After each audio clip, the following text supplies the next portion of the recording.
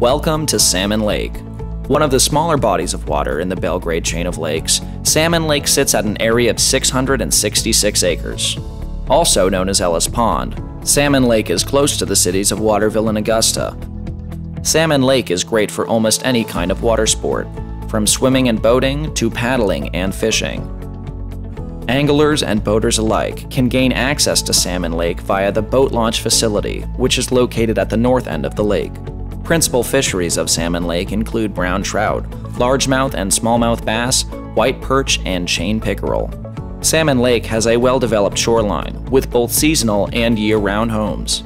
To learn more about this lake or real estate on its shores, please contact Androvise Realty by calling or visiting online at androvise.com.